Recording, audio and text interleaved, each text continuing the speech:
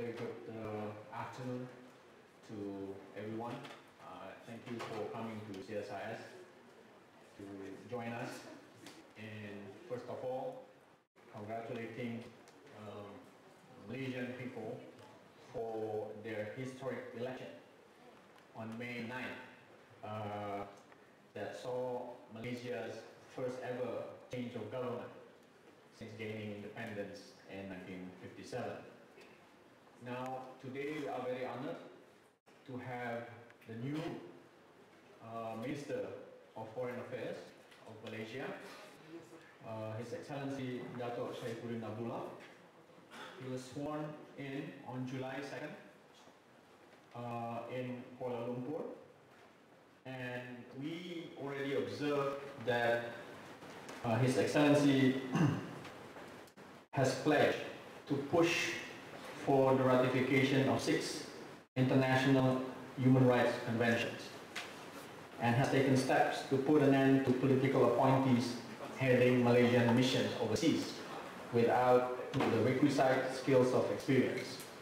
So already we are expecting a very deep reform in Malaysia of which I think Indonesia can also learn and we can learn from uh, each other. His Excellency Dr. Saifuddin has also expressed his aspiration to see Malaysia be part of the United Nations Sustainable Development Goals uh, 2030. These all are new initiatives by uh, His Excellency.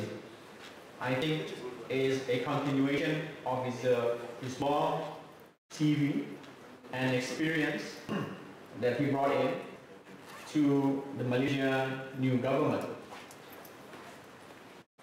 Dato' Saifuddin Abdullah it was a member of parliament or is a member of parliament for Indra Mahkota and chief secretary of Pakatan Harapan or Alliance of Hope and before he served as deputy minister of higher education member of UMNO Supreme Council, CEO of the Global Movement of Moderates Foundation, GMM, and Director of Strategic and Social Development of the Institute of Darul Ihsan in Malaysia.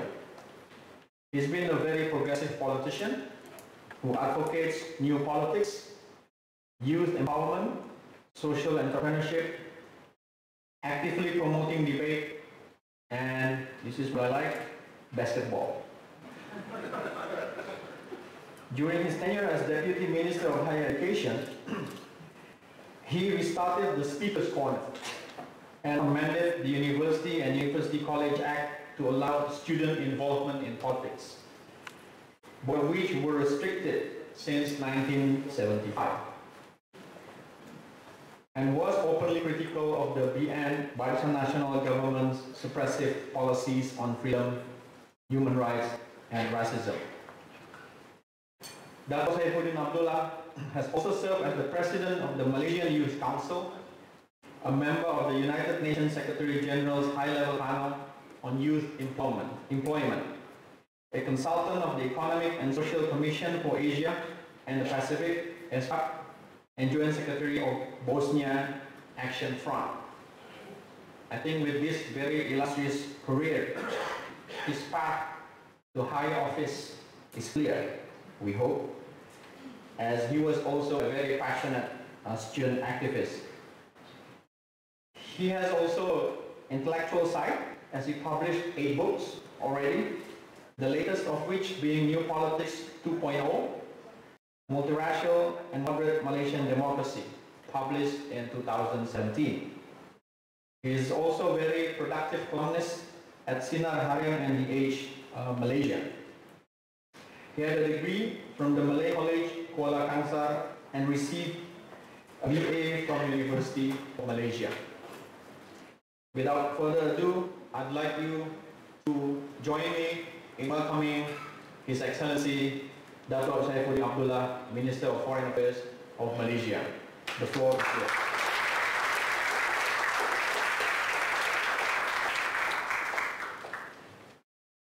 Assalamualaikum warahmatullahi wabarakatuh.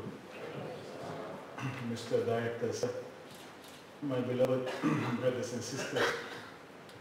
First and foremost, I would like to thank CSIS, CSIS for the very kind invitation for me to speak this afternoon and also I wish to thank you for your kind words. Uh, in politics, never trust anyone based on what he reads from someone's CV. uh, I've been asked to share with you on the new Malaysia and what it means to our foreign policy. Let me start by saying that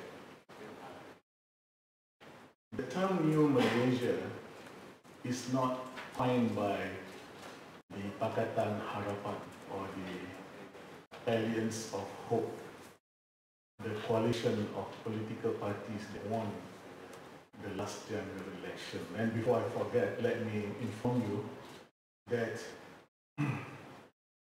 when we went into the election,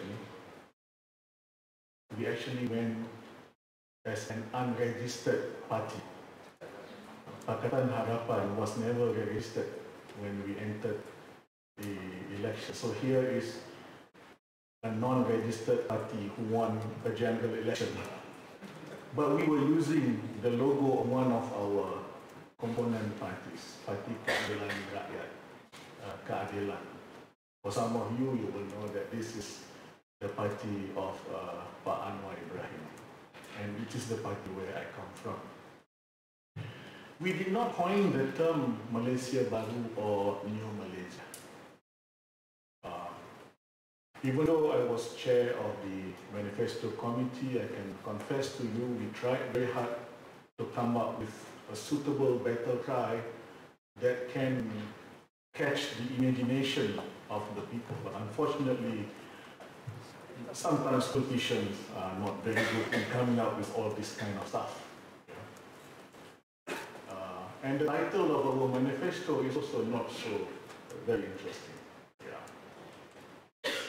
Malaysia Baru or New Malaysia came to, to the front during the campaign. Uh, it is ordinary Malaysians who, and we don't know where it came from, but it is the netizen on Insta, on uh, WhatsApp, uh, on Facebook, on the Twitter, they start using this hashtag, Malaysia Baru or New Malaysia. It is about people saying that this is time for change, and change means we want a new Malaysia. That, that's what, that's what, uh, that's how it came into, into, uh, into, into use. So what is Malaysia? I think there are two ways of addressing the meaning of New one is, I'm trying to understand what do the people actually mean by Malaysia? I must admit there is no clear definition. As I said, it came out of the blues. People start using it and now we have Malaysia. I believe the people were saying that we are in dire need of change, and change here means we need more freedom, we need better pay, we need better salary, we, be, we need better work condition, uh, uh, we need more freedom. Uh, we have to have some kind of uh, uh, minimum wage. Uh, we need to treat the refugees better, including the tenaga kerja Indonesia. Of course, they're not refugees, they're tenaga kerja Indonesia, but we need to treat them better. And many other things. Uh, if you follow the netizens, the dialogue among the netizens, uh, this thing go on and on. There is a like a wish list of what people want the new government to do. But in as far as the Pakatan Harapan government is concerned,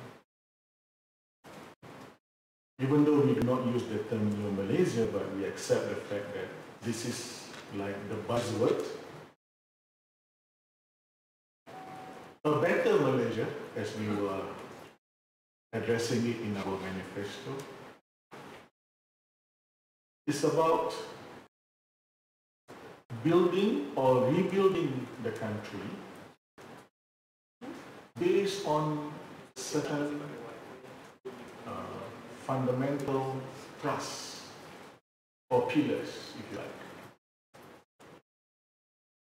And these pillars or trusts must be based on universal values and shared values. And the values are, and this is phrases or terminologies that were considered alien in the past regime. Democracy, freedom, substantive inclusiveness, so it's not just inclusiveness, substantive inclusiveness, human rights, uh, meritocracy, equal opportunity, and in the context of Sabah and Sarawak, uh, to acknowledge Sabah and Sarawak not as state number 12 and state number 13 via a federation yeah, of 14 states, including uh, Kuala Lumpur, special territory of Kuala Lumpur, or federal territory of Kuala Lumpur. But uh, we are committed in recognizing Sabah and Sarawak not as the state number 12 and state number 13, but as a wilayah, as a region, as enshrined in the Malaysia Agreement of 1963, which formed the Federation of Malaysia. The Federation of Malaysia was formed by four sovereign states or regions, i.e. the Peninsula of Malaya, Sabah, Sarawak, and Singapore at that time. So a new Malaysia is a Malaysia with a new framework, a new mindset, a new way of looking at things. And you can expect that our policies will be slightly different. There will be some policies that will continue, uh, but there will be some policies that will see changes. And how does this affect foreign policy? I'm only two weeks into the job. Uh, I can't claim I have uh, mastered uh, the whole uh, works of my ministry. I am still undergoing a series of tutorials, briefings by my officers. Uh, but I have started to think along what I call a new foreign policy framework. And I choose the term framework very cautiously so that it doesn't sound very radical, like we want to change the whole world. So it is about framework where we operate. And this framework if you can imagine, there is an umbrella, and below the umbrella there are three major components. So there is the roof, if you like, and then under it there will be three major components of the framework. The roof is what I call new direction or new priorities. What does this mean? Two things. Number one, most of the fundamental foreign policy principles will stay.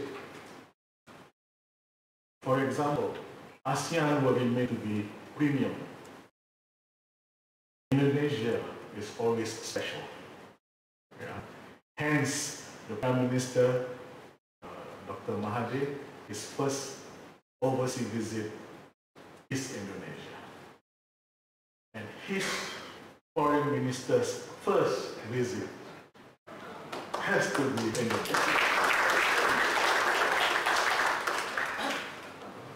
And I think uh, Malaysia-Indonesia bilateral relation, which has been going very going on extremely well in the past, uh, will only go better. Yeah. Uh, the way Bapak Jokowi received Pak Mahathir in the in Pak Mahathir's visit in June, uh, the reception was very special, very very special, and and we take uh, uh, we we appreciate the gesture. And uh, I was received by Ibu Retno also in a very special way this afternoon. I won't go into the details, uh, but I can only tell you that we are already on WhatsApp together. so that that is to give you a signal, the kind of comradeship, if you like, between the two foreign ministers uh, of these two uh, uh, negara tetangga, neighboring countries. Non-alignment, non-interference into other people's affairs. These are cardinal principles which will continue. But you can expect that there will be some improvements here and there. You can expect that there will be uh, some priorities. Either we will revisit some of the older priorities. We may introduce new priorities. Uh, we may improve upon some of those that we are already carrying on. For example, you can expect a revisit of the East policy,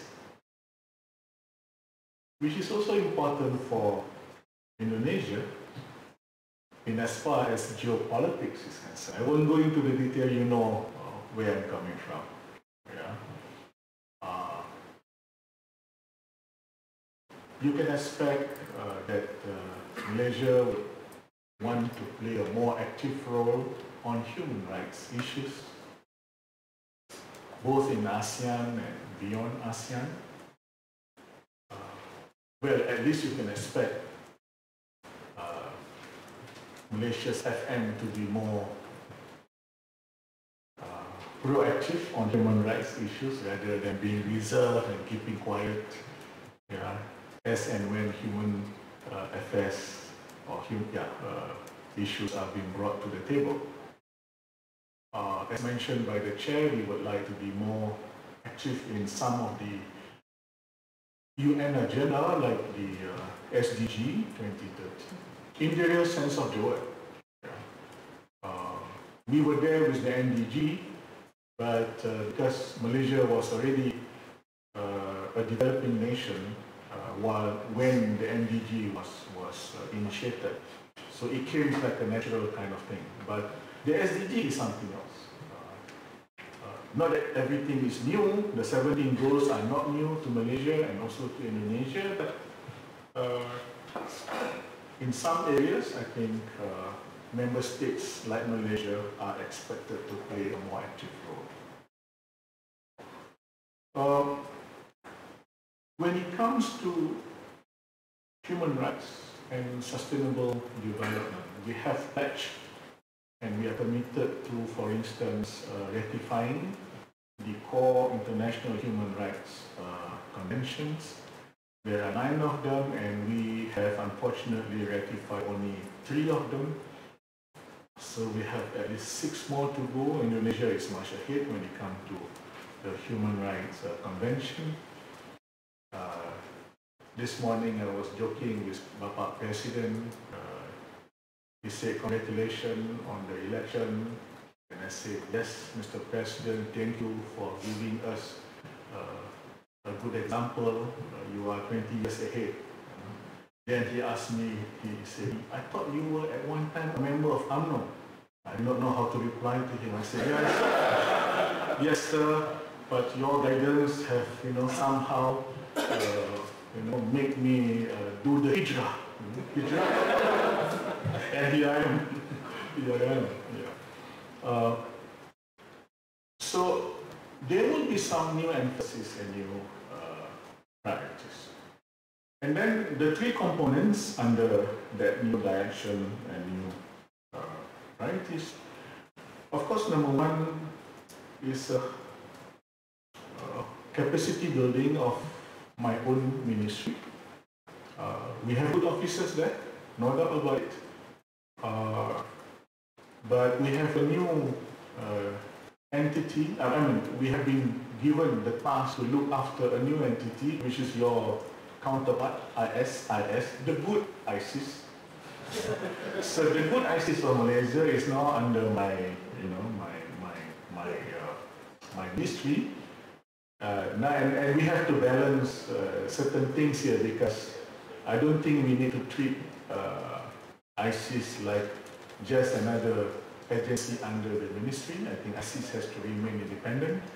Uh, but it is under our purview. We have to, to strike a balance. Uh, but yes, I think by definition, ISIS should remain independent. Or autonomy or whatever. Yeah. Uh, number two, in our context, the foreign ministry have to enhance our coordination with the other ministries. And if there is one area that you can expect the foreign ministry to be more actively involved in would be in the area of international treaties and negotiations. Why? Because we want to play a more, I mean, not we as in the ministry, but I think we as in the country, the new government wants to play a more active role. We, we are aware of the fact that we are a small player uh, as compared to the bigger players.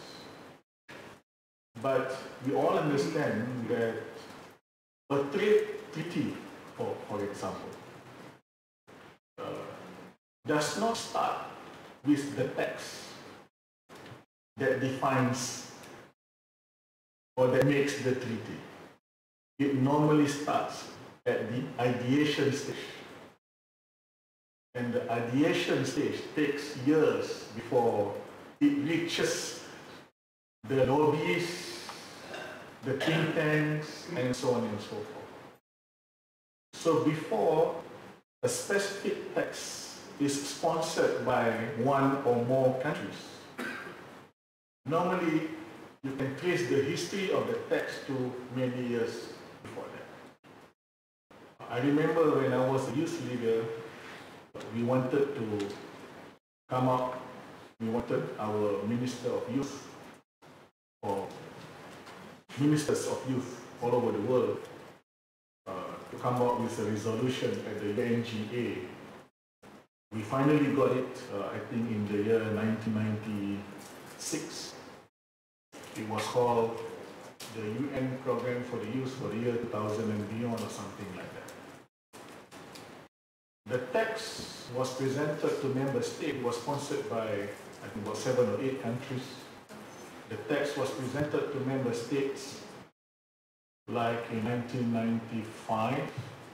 Yeah. The lobby from all the regions uh, started like in 1994, what, two years before the text was presented. But the ideation process came uh, in 92, 93. I still remember in the context of Commonwealth, not the best example to be presented in a non-Commonwealth country, yeah. But a simple thing like, what is the definition of youth empowerment? Took three years before it came to the head of government's meeting, CHOGM, and be accepted that here is one paragraph that defines youth empowerment, but it took three years for it to come to the table. Now, when I say we want to play a more active role, it is getting involved in the process from the early, from the start of it, if possible, and not becoming a passive player where you wait or you are introduced to the issue before you only when the text, the treaty text is being presented to you by sponsoring member states. That's what, that, that is what I'm trying to say. Uh, how active can we be and how influential can we be? I think there are many ways to look at it. Uh, if we look at the trade war that is happening before our eyes today, uh, surely one country like Malaysia will not be able to do anything. But if Malaysia and Indonesia and ASEAN and the other developing countries can work together in a certain way, yes, we may not be able to win the case, I mean, to win uh, the, the, the war, the trade war, the current trade war, but surely we are able to protect some of our interests, uh, this way or the other. But if we choose to remain passive and we do not reach out to our neighbors, to our like-minded member states, uh, then we will not be able to do anything. I remember, for instance, prior to the Rio summit, many, many years ago, again, I was at that time a young, mischievous activist, you know, making a lot of noise, shouting here and there. I do still shout today sometimes now. uh, Malaysia was a small player. But uh, there were three gentlemen, good gentlemen from Malaysia, who were doing certain things, engaging people, looking at uh, sorting out, reaching out to like-minded people. So we have Mahdi as the Prime Minister, uh, talking to some leaders from the South especially we had uh, a diplomat, Razali Ismail, who later become, became the uh, president of the UN, reaching out to his colleagues, the other diplomats. We had Martin Khor, uh, an activist, uh, reaching out to the other NGOs. And uh, we managed to ensure that the communique or the resolution of the Rio Summit uh, fits into our requirement, the requirements of the South and the requirement of developing nations. Uh, and I think this is the way forward for Malaysia. And I'm very happy to report to you that uh, I had a discussion with Ibu Retno, and I think we are on the same page on, on many of these, this kind of issues. Uh, Malaysia, Indonesia, and ASEAN should play a more active role in some of the issues that we are faced with. And, and this is something I'm learning from my Indonesian counterpart. Sekiranya, sekiranya kita semakin kompak. Do I say it correctly? Yes. Sekiranya kedua-dua negara ini semakin kompak.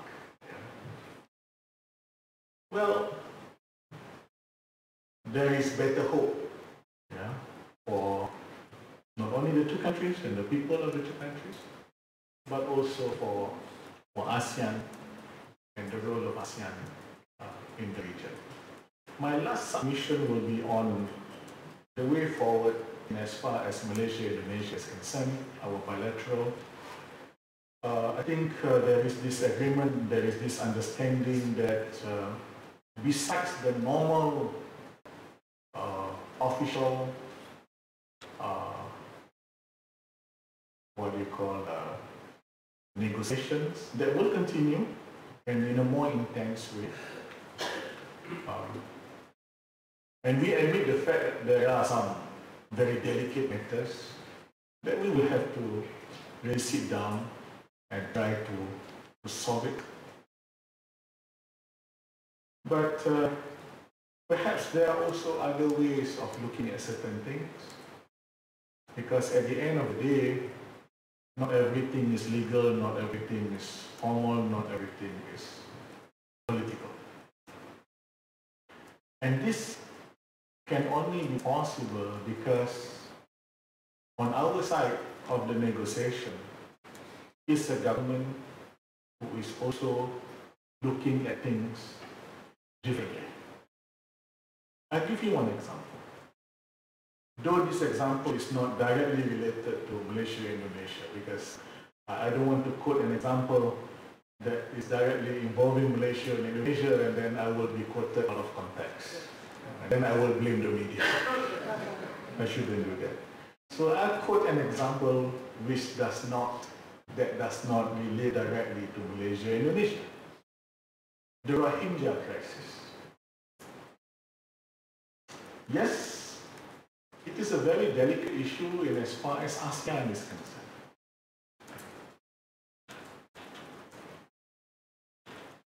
If you are a government not believing in human rights,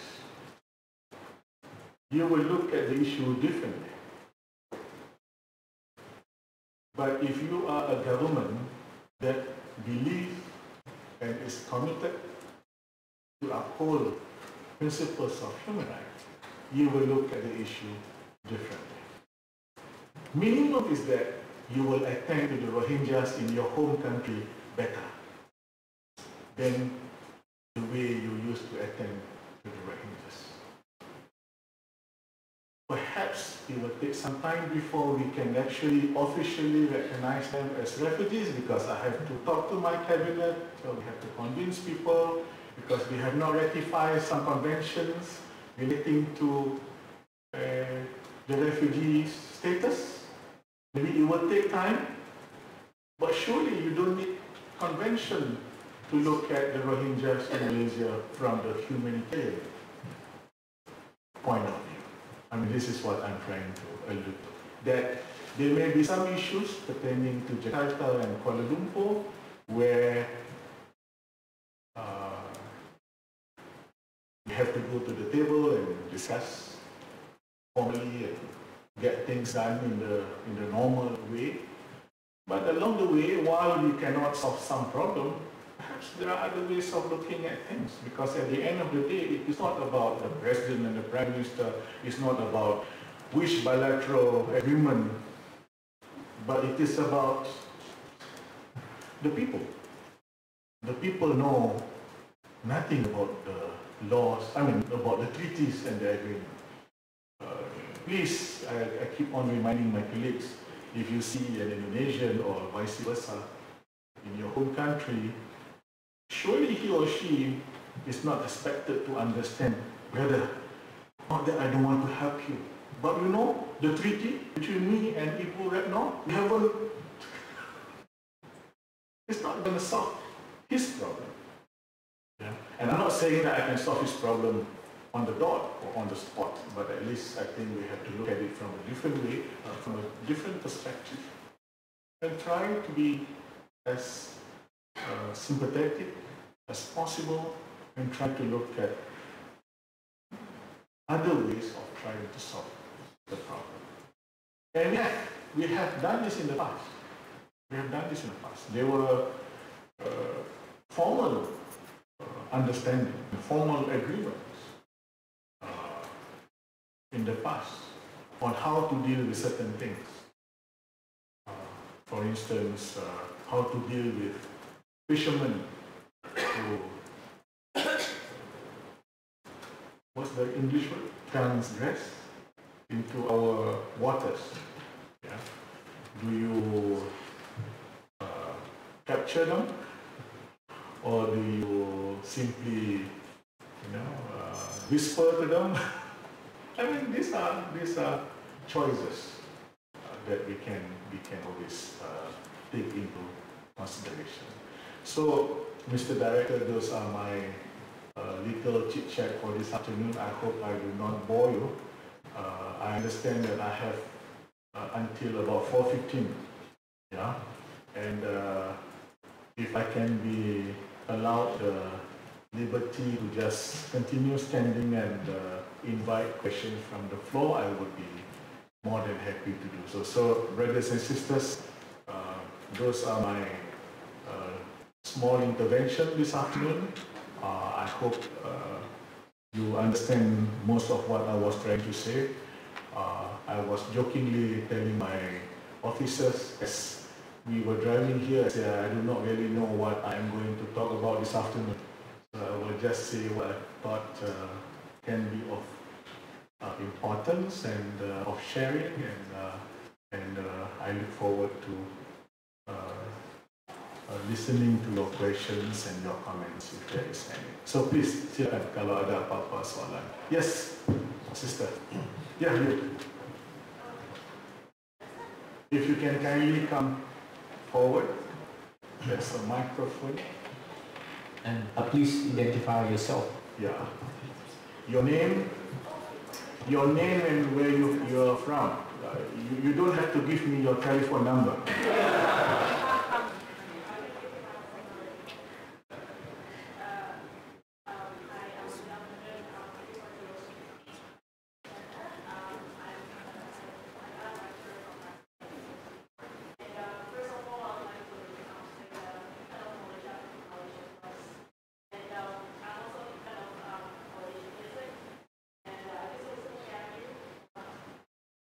So you like KRU? Oh yeah, I did. I did.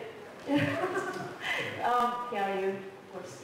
And uh, uh, I do have a lot of uh, Malaysian friends, and um, I'm afraid that what I'm going to ask you might not have any relation to what you've just um, told us. But I'm really, really curious. So, by the way, um, uh, my Malaysian friends, you know, they're made of um, races such as um, Indian, Malaysian, sorry, uh, Malayu, and then Chinese. And then uh, they told us that um, in Malaysia, like the Chinese Malaysians, uh, they don't really speak uh, Bahasa Malaysia or Melayu. And then the um, uh, Melayu people don't really speak uh, Mandarin. And then also the, you know, the Malaysian Indians don't really speak uh, Melayu language as well. And um, as far as I understand, Melayu is your um, national language, right? And then um, I'm just wondering if uh, there is any plan in your government to uh, make sure that you know um, Indian Malaysians and Chinese Malaysians, um, you know, to be able uh, to teach them to be able to speak Melayu. Yeah, uh, that's all. Thank you very much. Thank you. Thank you for your question. If there is one thing that we are very jealous of our brothers and sisters in Indonesia is your Bhinneka Tunggal Ika. You have done extremely well. And we are like, uh, haha, uh, we, we, there, there are rooms for, for improvement. Uh, generally speaking, I think every Malaysian speak Bahasa Melayu or Bahasa Malaysia. Perhaps with different uh, what you call level of uh, mastery. Uh, but uh, I know in, Indone- in Indonesia, uh, everyone speaks Bahasa Indonesia. Uh, uh, we, we need to improve that. But having said that, uh, the issue is not just to ensure that everyone speaks the language. Uh, the other issue is about making Bahasa Malaysia or Bahasa Kebangsaan. And again, you know, this, there is this discourse. And it's not really a, something that is supposed to be there because I thought we understand this uh, many, many years, since many years back.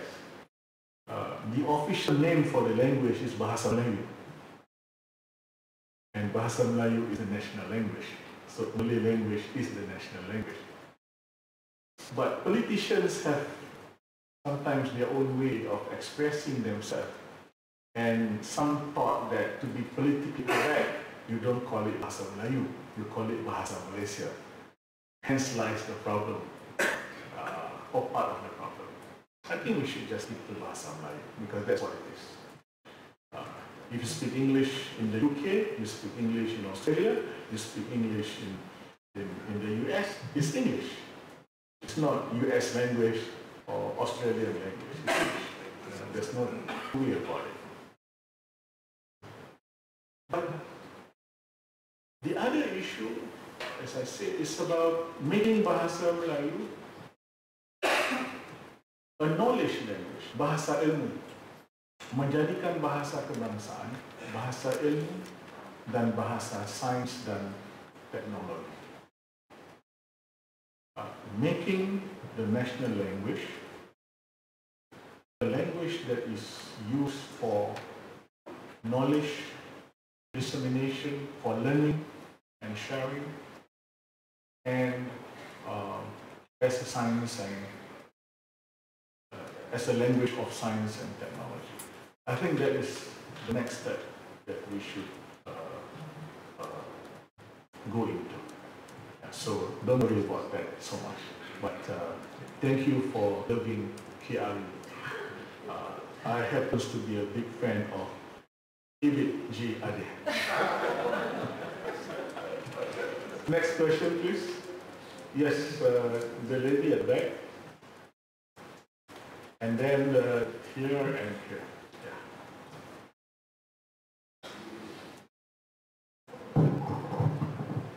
Good afternoon, Dato. Welcome to CSIS. My name is Christine Susana Chin. I'm a researcher here. My question is related to among the most um, admirable thing, I think, what Malay, uh, in terms of what Malaysia have done with, uh, related to the Belt and Road Initiative. Mahathir, Tun Mahathir, sorry?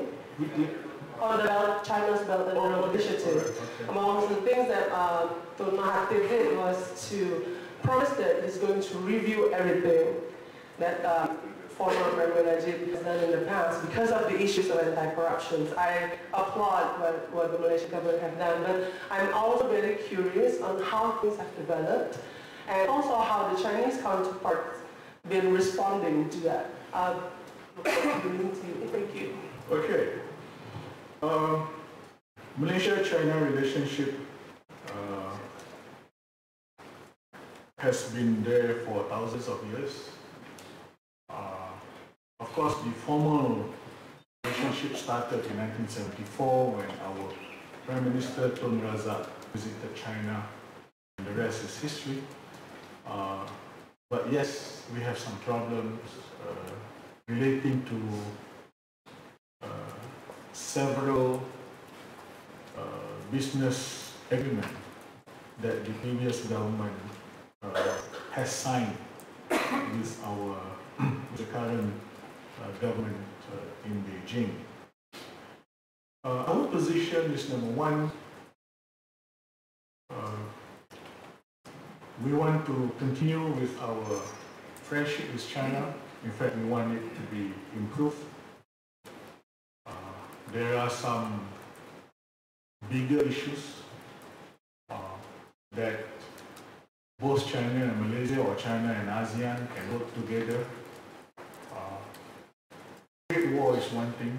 Trade war is not going to benefit China. It's not going to benefit, to benefit any of the ASEAN member states.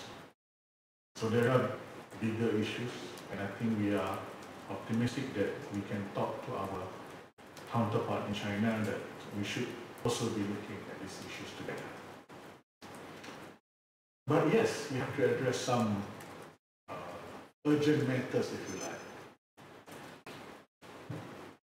So our second position is that we want to review, we are already reviewing all of those agreements that were signed by the previous government.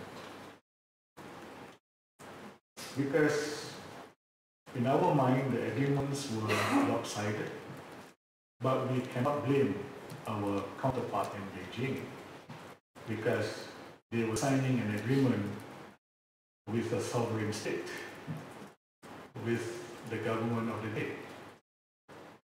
Uh, but now we are talking to them and we are asking them if we can go back to the drawing board, if you like, and look at those agreements and see how we can uh, perhaps uh, reconcile. Some may have to be postponed because we just don't have the money to carry out uh, one or two of the big projects. Uh, we have sent, the Prime Minister uh, sent uh, Daim, our former Finance Minister, as his uh, special envoy to China. He met with the Foreign Minister and the Prime Minister. Uh, he has already came back and has reported to, to Dr. Mahathir. I'm meeting my counterpart, the FM, on the 31st. Uh, Tun Mahathir has already announced that he will be visiting China on the 17th of August. Uh, and uh, you can expect there will be some uh, discussions to and fro, perhaps, uh, between various uh, individuals and organizations in trying to, look at the matter. But as I said, uh, China, Malaysia has got a long history of cooperation for thousands of years, and we should not let these three or four projects problematic, yes, but we should not let these three or four projects, you know, to uh, to get in the way. While there are also other issues that both China and Malaysia and and our ASEAN member state uh, should uh, bring it should bring to the table. Um, yes.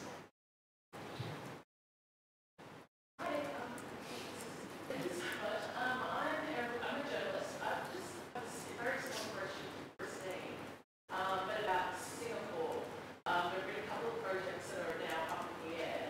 Um, could you just speak a little bit about what we can expect between Malaysia and Singapore in the coming years? I said uh, Indonesia is our tetangga. Singapore is also a tetangga. Yeah. Uh, well, there are two issues, of course, uh, between Malaysia and Singapore, uh, which needs to be resolved. One is water agreement. Uh, the other is the uh, high-speed rail, yeah, HSR. Well, the water agreement is not new. Uh, it is an ongoing negotiation. On the HSR, uh, Minister of Economic Affairs, Azmin Ali, is to see his counterpart uh, before the 31st of July. Uh, the deadline is given by uh, my Singapore counterpart. Uh, we, we, we need to, to discuss with our counterpart in Singapore as to how do we go about uh, reviewing uh, the HSR. Again, uh, in the context of the new government, uh, it is not about cancelling, it is not about not wanting to honor the agreement. It is really about renegotiating the terms and conditions of the agreement. Yeah.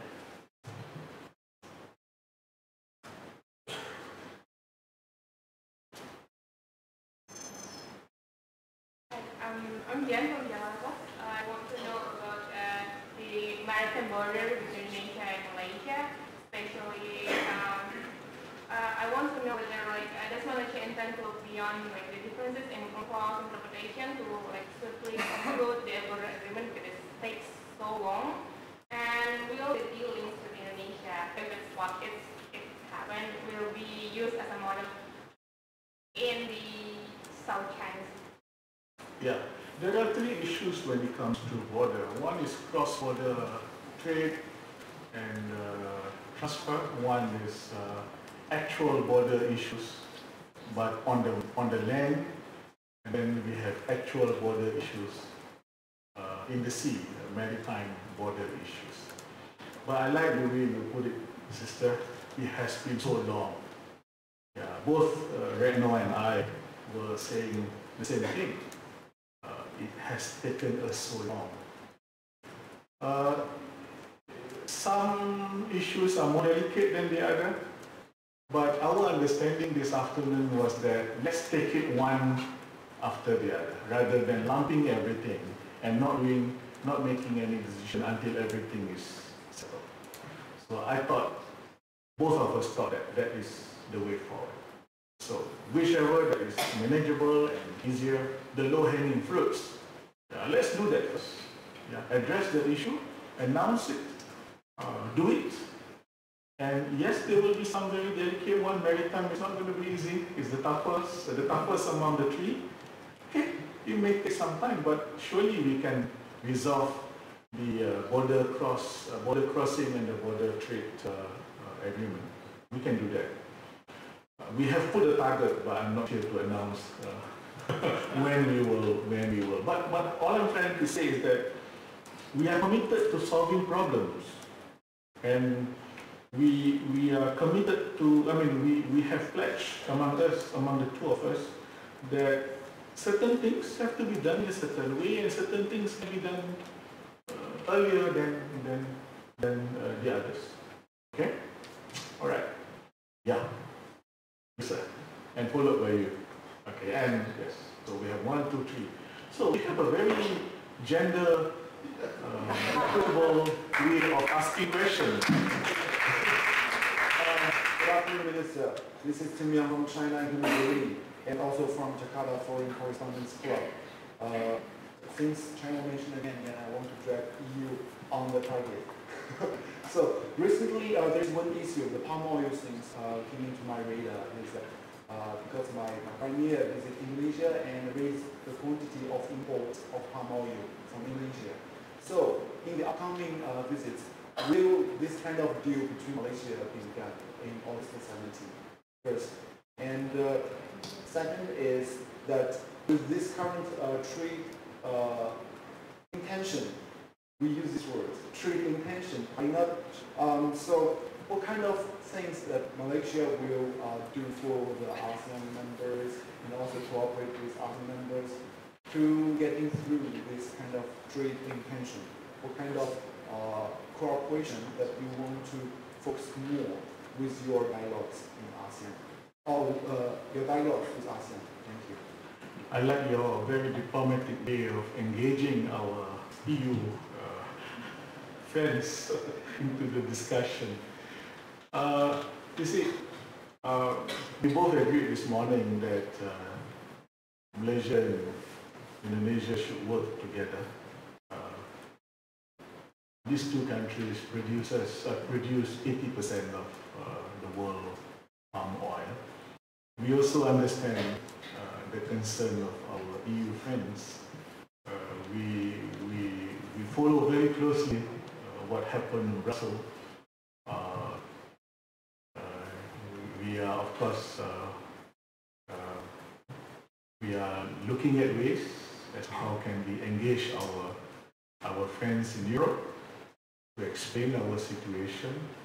There are two major uh, components of the issues. One is uh, political. Uh, political not as in uh, uh, politics as we normally understand it, but political as to both and, and Indonesia. Uh, just to quote an example, in Malaysia, there are 54 parliamentary constituencies that will be determined by the way the uh, palm oil growers vote.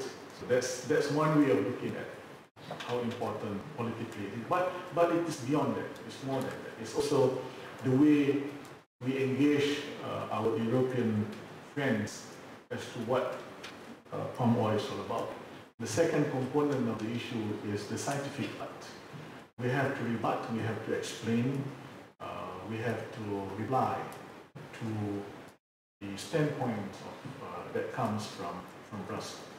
So you can expect, uh, besides the ministers in charge of, of palm oil, uh, we don't have a palm oil minister, but besides ministers in charge of palm oil, uh, you, you can expect the two foreign ministers to also be talking about palm oil.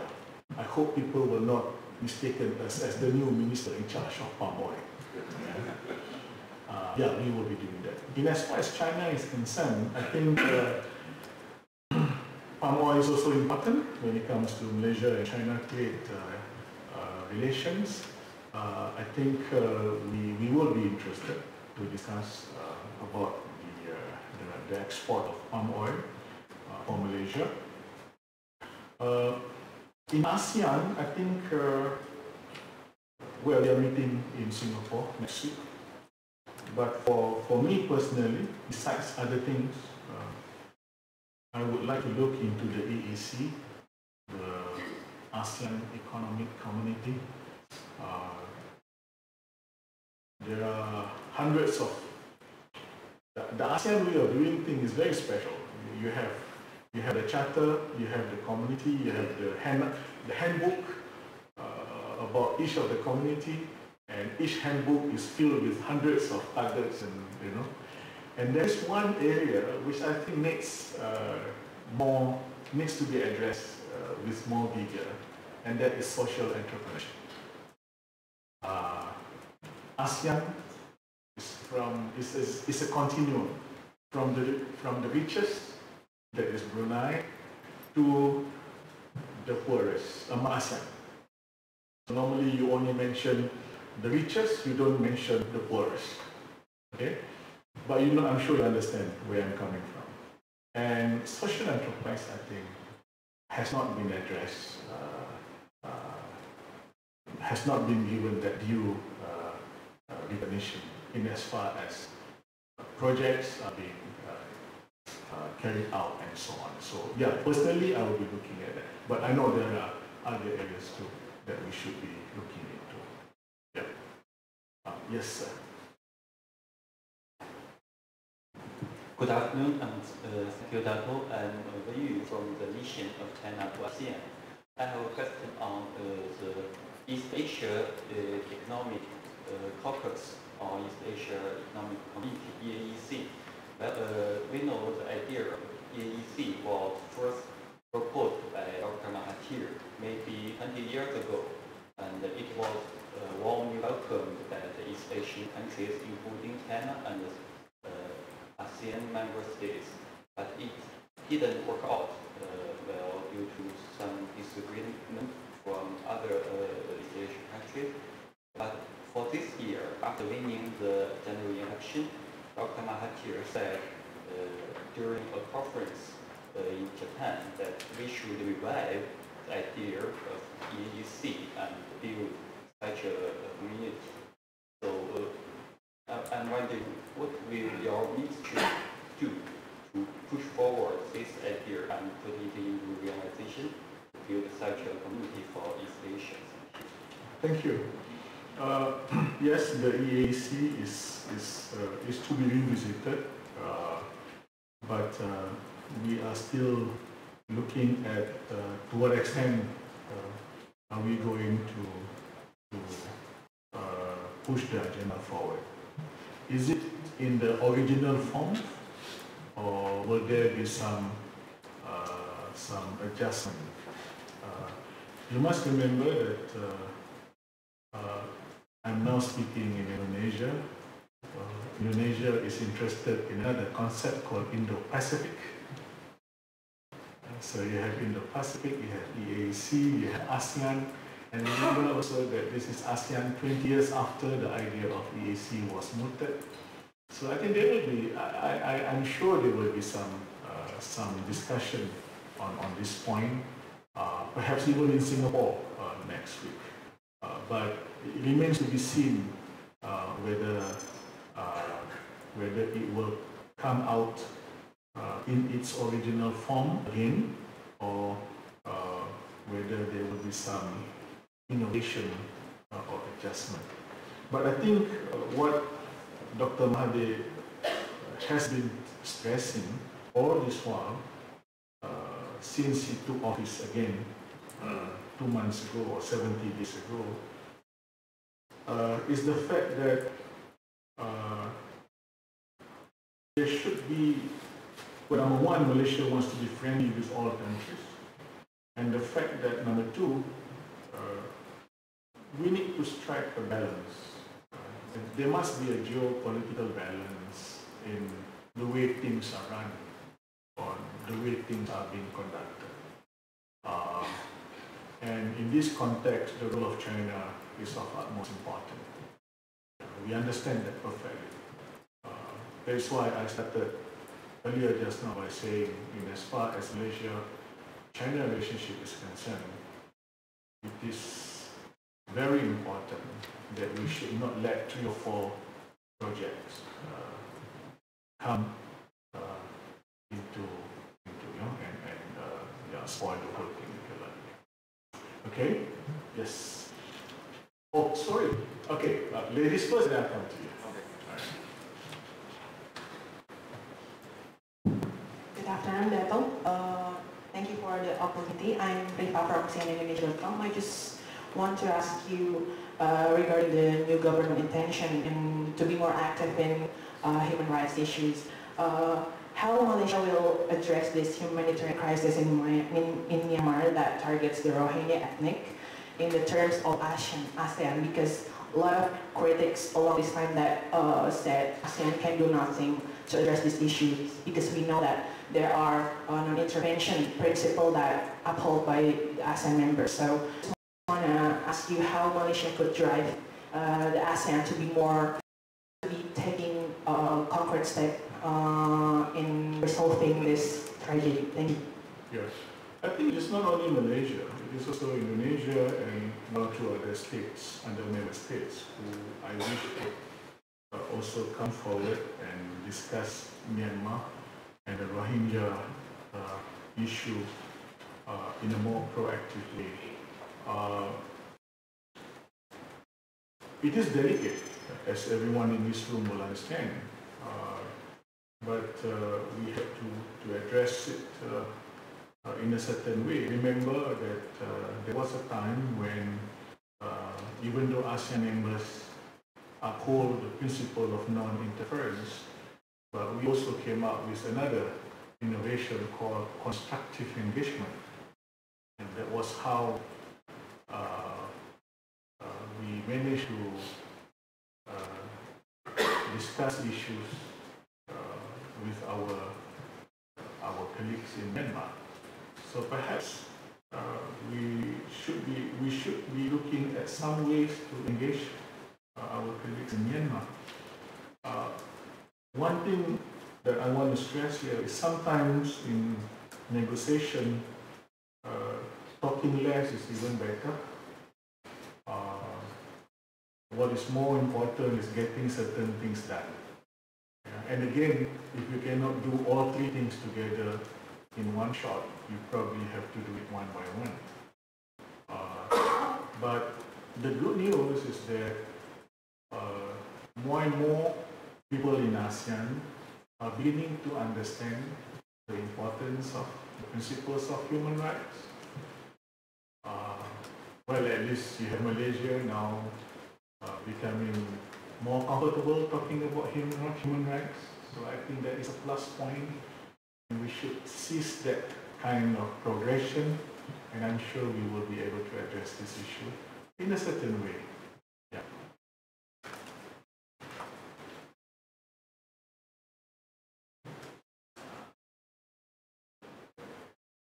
Good afternoon. Uh, I'm Akbar from Liputan6.com.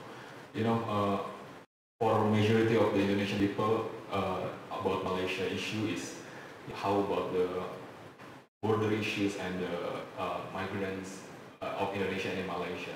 And the, the, the, the point is they're becoming uh, more focused on Indonesian people. Uh, I'm just hooked up about uh, the way you said with earlier with Minister Retno and uh, about the, the new approach that you want to address uh, those issues in, in the new Malaysian government. So I, I just want to ask uh, how makes uh, how does it makes difference uh, with the old Malaysian government and how does uh, that affecting the you know from the people for the people uh, uh, from the both country especially uh, Indonesian and Malaysia. Thank you. Okay. Uh, if I can answer in the form of an anecdote. Yeah. Uh, you have a son, I have a son. Okay, and both sons seems to be having some problems. If I look at your son and say, this is your son, and you look at my son and say, this is your son, you're not going to solve issues. Yeah. But if the boy is considered a son of everyone, and he needs to be attended to, his needs has to be attended to, then it's a different way of looking at things. Uh, if I can give you a more direct example, how do we look at Sekolah Indonesia, the Indonesian school in Malaysia? If our thinking is, oh, the more Sekolah Indonesia found in Malaysia, then uh, we should be concerned because this may in the long run uh, affect ABC. Then that is not a good start to negotiate and to discuss the uh, education opportunity for uh, Indonesian workers who are now working in Malaysia. But if we understand that this is part of the requirement, uh, on the one on the one side this is a human right issue, on the other side this is a humanitarian issue, on the other way of looking at it is like, look, uh, the child has the right to education, and other issues will have to come second. So solve the problem first and find ways how to solve the problem. So, I mean, this is perhaps uh, one way of looking at how the new government uh, is looking at things uh, quite differently compared to the old government. If there is a last question, I must entertain my European friend. So this will be the last uh, question, Mr. Director. Thank you. So please, uh, uh, uh, you, you, the, the World Cup was an European affair. I'm trying to appeal to him so that his question is going to be uh, an easy one. First of all, uh, Minister, if I may, again, congratulations for your Thank you, sir.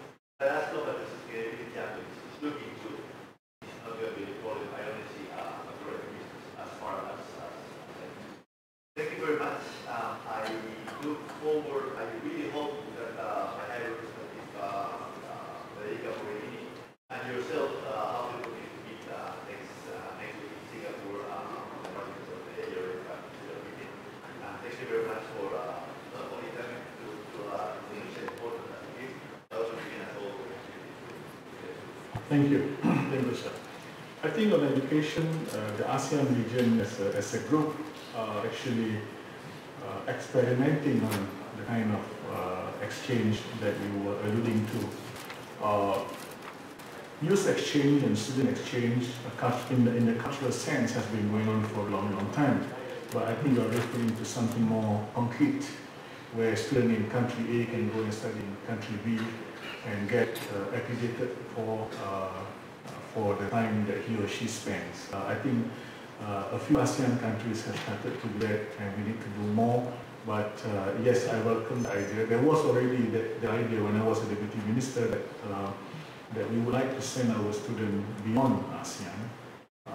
But as I said, we have started at our level at this in this region, and hopefully uh, sooner rather than later we can uh, we can uh, expand uh, these activities in, in Europe.